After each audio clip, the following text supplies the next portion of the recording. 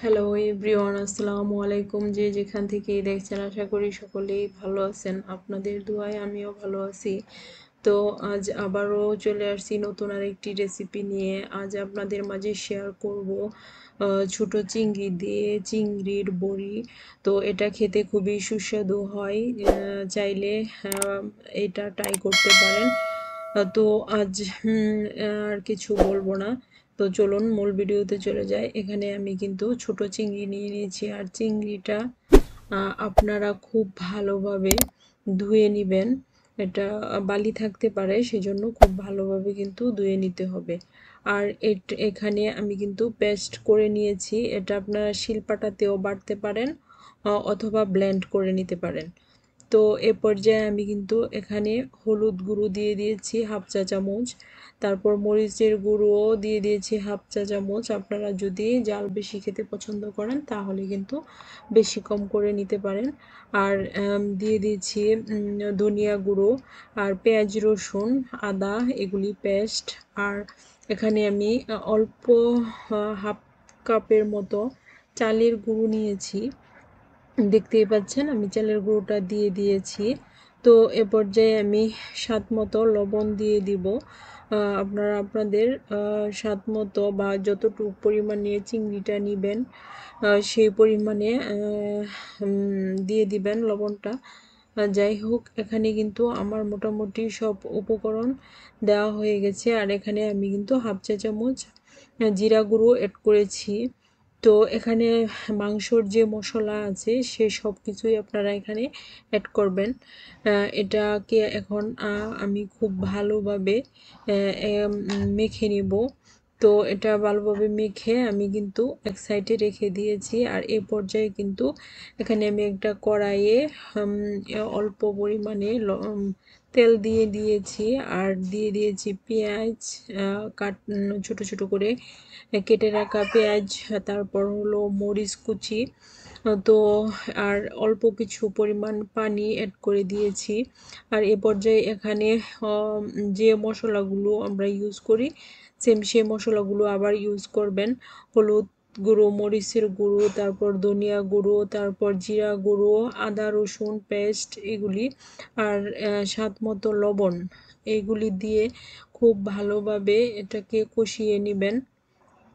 তো এভাবে নাড়িয়ে চাড়িয়ে মশলার যে একটা ফ্লেভার সেটা যেন না থাকে সেই জন্য আপনারা খুব ভালোভাবে কিন্তু মশলাটাকে কষিয়ে নিতে হবে।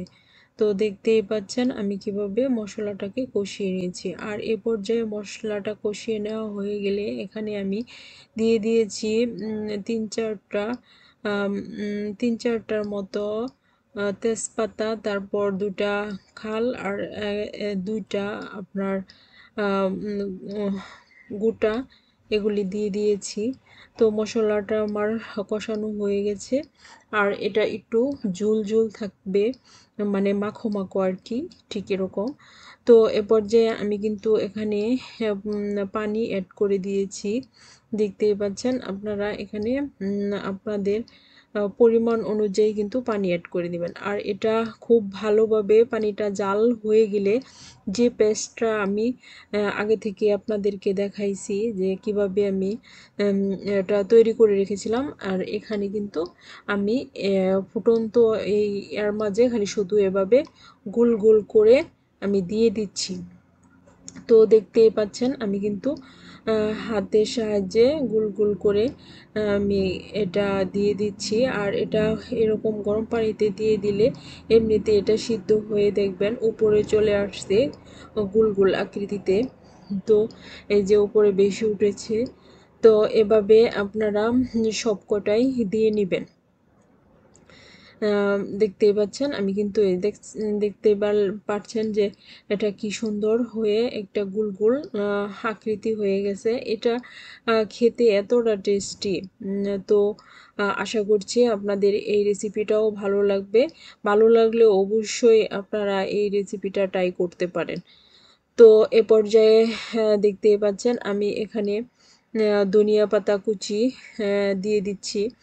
আপনারা ধনিয়া গুঁড়ো দিলে ধনিয়া পাতা কুচিটা দিলে খুবই ভালো হয়। তো চেষ্টা করবেন ধনিয়া পাতার কুচিটা দেওয়ার জন্য। আর যদি একান্তই আপনারা খেতে পছন্দ না করেন, তাহলে এটাকে আপনারা স্কিপ করে যেতে পারেন, কোনো সমস্যা নাই। তো এ পর্যায়ে কিন্তু আমার রান্নাটা পুরোপুরি কমপ্লিট হয়ে গেছে। দেখতেই পাচ্ছেন যে কতটা লোভনীয় ও এমি হয়েছে। তো চলুন একটু পরিবেশন করে আপনাদেরকে দেখাই যে এটা কতটা সুন্দর হয়েছে এবং খেতে এতটা সুস্বাদু হয়। আমি আসলে আগে জানতাম না।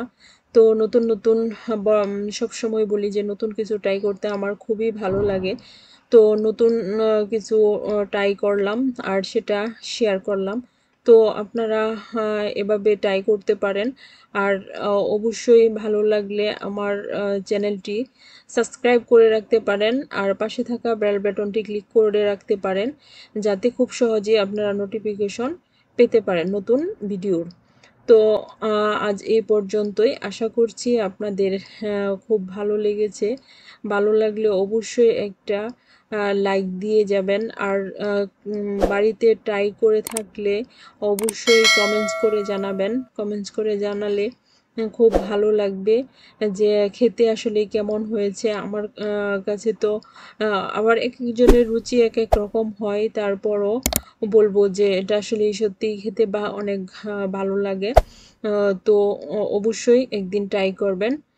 আজ এ পর্যন্তই। আল্লাহ হাফেজ।